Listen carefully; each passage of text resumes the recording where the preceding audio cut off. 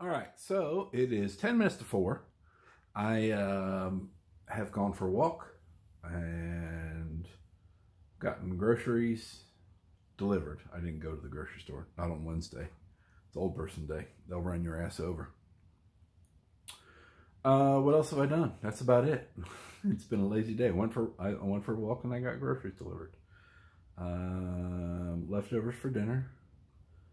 Um, Spurs are playing like shit. And I guess that's all. I don't know what else I've done. I haven't done anything. Caught up on three or four episodes of Jeopardy.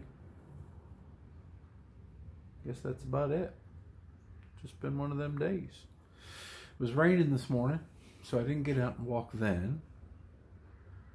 Uh, so actually, I went back to sleep and slept almost almost two more hours. I got a lot of sleep last night. That should that should that should be helpful. um I guess that's all there really is to say. I don't have much else to say right now.